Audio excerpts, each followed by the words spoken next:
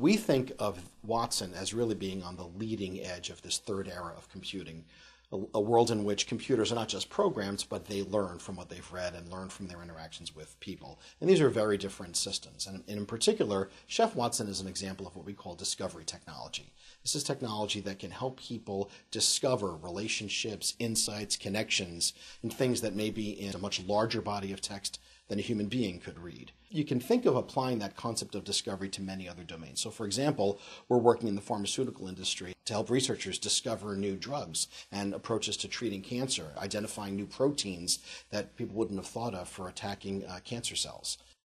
We've created a cookbook by partnering with our friends at the Institute of Culinary Education, a cookbook that contains something like 65 of Chef Watson's uh, greatest hits. And when you see these pictures and you see the recipes, you really start to understand how the computer has helped push people's creativity, pushed, in this case, the creativity of the chef.